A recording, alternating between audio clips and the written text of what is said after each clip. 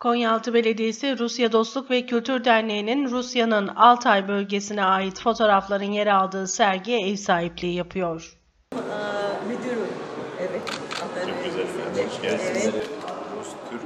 Konyaaltı Belediye Başkanı Muhittin Böcek, Konyaaltı Kent Konseyi çatısı altında oluşturulan Yabancılar Meclisi ile burada yaşayan yabancı uyruklu vatandaşlara yaşadıkları sorunları dile getirme fırsatı verdiklerini kaydetti.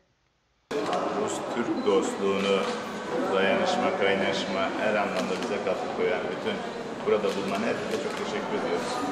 Ee, bu serginin sizlere, bizlere, e, Rusya'mıza ve Türkiye'mize hayırlı olması.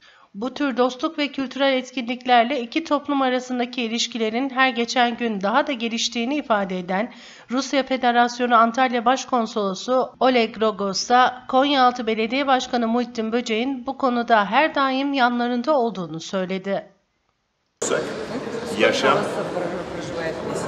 yani köy, kent, 2,5 milyon. 2,5 milyon. 2,5 milyon.